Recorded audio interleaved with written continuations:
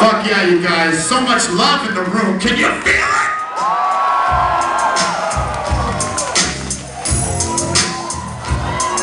It's our pleasure to come back and rock Sydney. What a beautiful fucking town. What a beautiful school right here, man.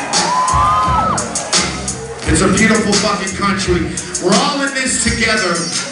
All the countries, we're all just one fucking family on this planet. We need to realize that. And once we do, we'll be a lot better off. Thanks for coming out tonight.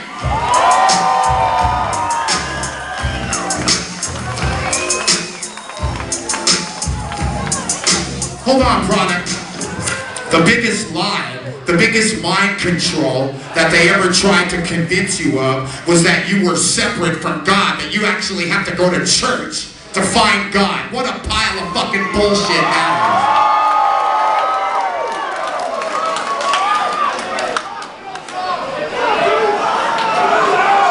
That's the old paradigm. All that organized fucking religion is a prison for your fucking soul.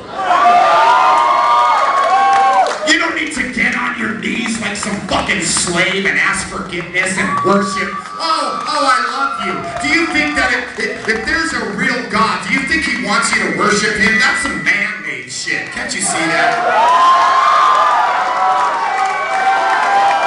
You don't need to ask anybody to forgive you for anything. Forgive your fucking self.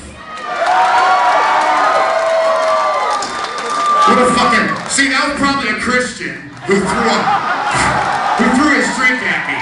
This, this is what they do. You know? Remember the Inquisition. You know? Oh, you don't believe like me? Fuck you!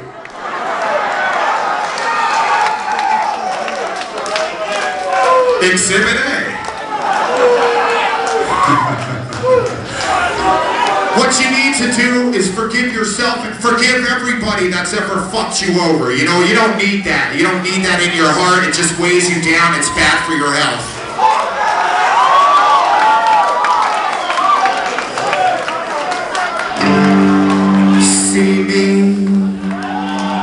I'm still.